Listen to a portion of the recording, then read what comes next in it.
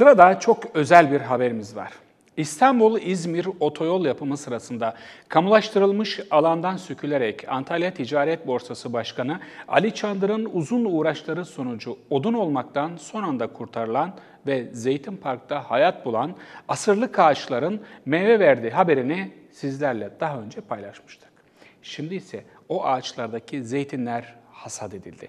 Usta kameraman Serdar Korkmaz'ın kaydettiği, muhabirimiz Hazal Bozkurt'un da bizzat hasada katılıp topladığı zeytinler kurulduktan sonra açık arttırmayla satışa sunulacak.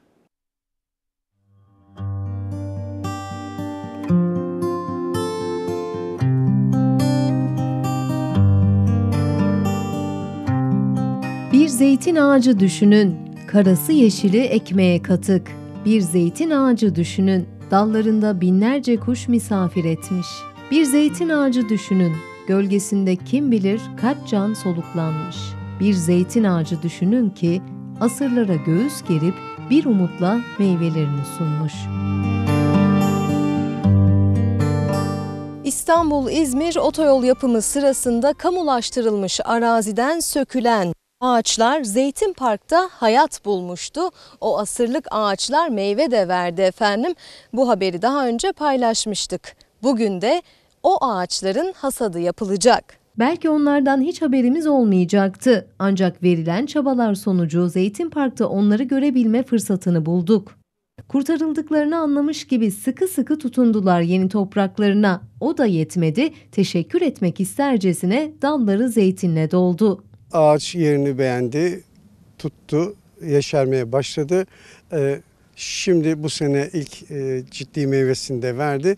Bugün o meyveyi topluyoruz. Toplamayı da sizinle birlikte bitireceğiz hep beraber. Bu zeytini bugün hemen salam olarak olarak işlemeye alacağız.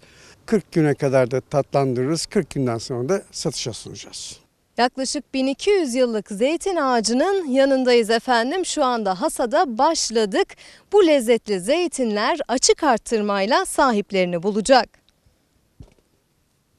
30-35 kilo civarında olacağını düşünüyorum. Çünkü birini topladık daha diğerini toplamadık. Ama 35 kilo civarında zeytin alacağımızı düşünüyorum iki ağaçtan.